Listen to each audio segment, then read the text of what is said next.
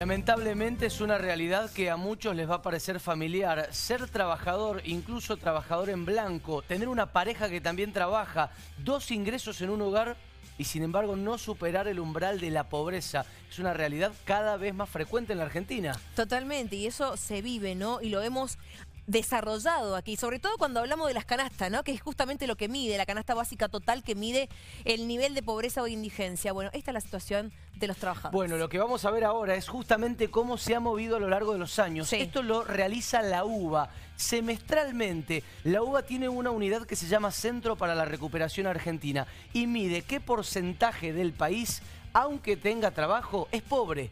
Y fíjate cómo está en un pico respecto a los últimos 24, a los últimos, perdón, 8 años. 8 años, exacto. 2016 estábamos hablando de un 22,2%, ¿no? Justamente de pobres en el país. 17, 19,9, al 2018 20,1%.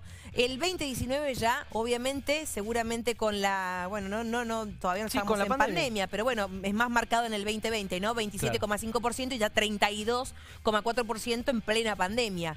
Bueno, llega a su punto máximo en la pandemia y al segundo en 2023, eh, el año pasado con Alberto Fernández 31.3, ahora con Javier Milei 34.9, es decir, el punto más alto de los últimos ocho años de argentinos que aún teniendo trabajo no dejan de ser pobres, es hoy 35% del país. Y nosotros salimos a preguntar qué pasa acá en Mendoza, cuánto alcanza y cuánto no ese salario. Bueno, ¿quieren escuchar lo que nos decían? Lo siguiente. ¿Le alcanza el salario para llegar a fin de mes? No, llego con lo justo. Y la verdad que mm, se hace difícil, complicado, así que hacemos todo el intento de, que alcance. Sí, me alcanza. Justo, sin, sin grandes lujos, pero me alcanza. Menos que antes, pero tengo confianza que más adelante me va a alcanzar. ¿Ha dejado de lado lujos que se podía dar antes y que ahora no? Sí, salir a comer por ahí el fin de semana o, comprarme ropa. Y las vacaciones se han reducido en días, eh, salidas, pero bueno, poniéndole la mejor actitud. Y las salidas, comprarme ropa, eh, las cosas medianamente básicas no, ya no se pueden cumplir. ¿Tu salario no cubre la canasta básica? No, no cubre. Quedo muy por debajo. Y me ajusto bastante, me ajusto bastante. Eh, y mucho tarjetazo. Casi al unísono, los trabajadores de la Administración Pública Provincial dicen que tampoco les alcanzan sus ingresos y están negociando en paritarias. En esta ronda están discutiendo cuáles van a ser sus incrementos para julio, agosto y septiembre. Las novedades.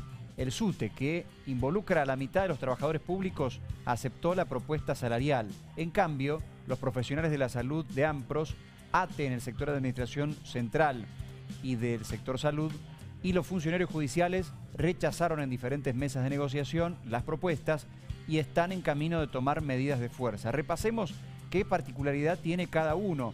Lo más saliente es que el SUTE aceptó este 5% mensual, que no se ha movido para ninguno como oferta. Va a ser acumulativo y al básico. Esto es importante porque reditúan el resto de los componentes y es acumulativo porque se toma como sueldo de referencia en el mes anterior. Por otro lado, ATE ya está convocando. En esto hay una lectura del gobierno que eh, sus voces paritarias dijeron fue sorpresiva la reacción y el rechazo de ATE. Pero bueno, más allá de esto, no se ha interrumpido el diálogo, pero habrá, habrá asambleas 10, 11 y 12 de la semana que viene después del feriado, tomarían medidas de fuerza. ¿Qué dijo Roberto Macho en el día de hoy? Están proponiendo un nuevo ítem aula para su sector, que van a tener que ir hasta enfermos a trabajar.